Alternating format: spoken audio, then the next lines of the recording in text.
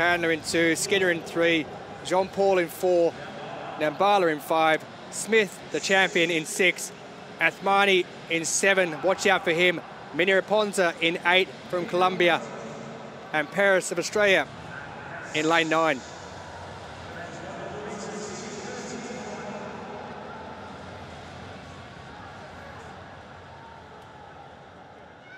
Ten point four six, that world and Paralympic record for Jason Smyth.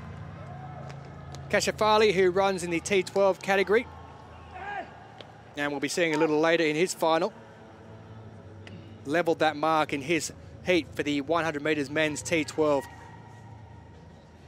So shared as the fastest Paralympian with that man. This the least of the visual impairment categories. And they get away, and Smyth got away really quickly indeed, and as did Jean Paul of the United States, but it's Smyth out in front. He's being chased by the Algerian Athmani, but Smyth gets there on the line just. Well, Smyth has held off Athmani, who, for another five metres or so, I think Athmani may well have got to him. But a season best for Jason Smyth in 10.53. He makes it four Paralympic titles in a row. He's won by one one hundredth of a second. A new African record that he broke earlier in the day. Colombia has also broken the area record and picked up the bronze.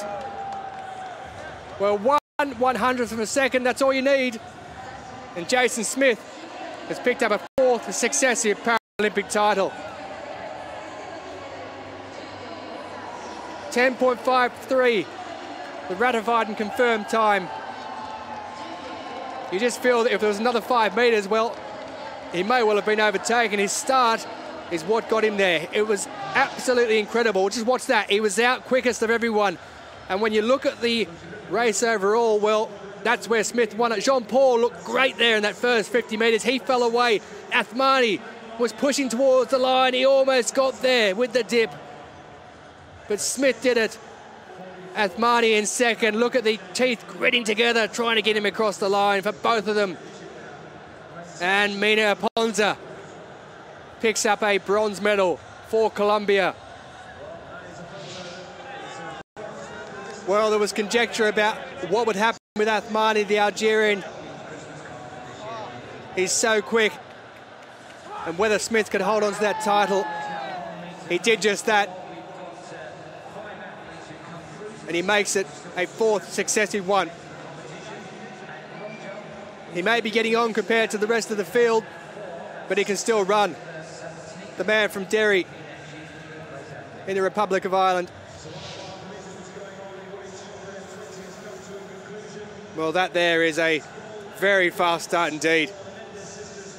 Athmani was looking strong as well. He's running able-bodied events before. He was part of the 4x100 Algerian team who held the African record back in 2014. But he couldn't quite get there at the end. Smyth looked across to the right, I think he realised he was being caught.